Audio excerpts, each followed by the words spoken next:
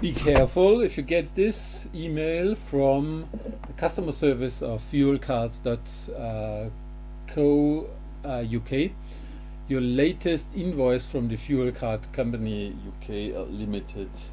So what we have here is uh, we you will sometimes get this invoice.xls but in real time uh, in, uh, be in real really it's um, macro uh, Excel file XLM which loads and or installs a Trojan horse when you click on that. Don't do it uh, because otherwise the uh, virus will be installed. Um, if you whenever you have something like this then you may uh, check it on the on virus total. Let's see there. Uh, virus total and when you load you have there's uh, virustotal.com and when you check this file I've downloaded it but you I think you shouldn't really do it.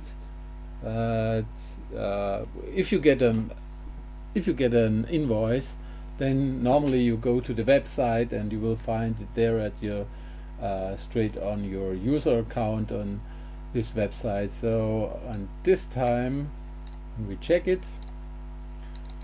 And when, uh, when I take this invoice and scan it then they will find uh, some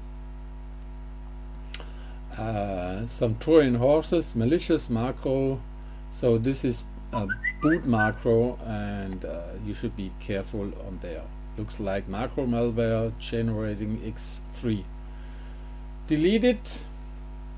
Uh, that's the same what I do here. Okay um, I'm closing it and in my e file system I will whenever it is I I'm always looking for here it's deleting. So that's a way.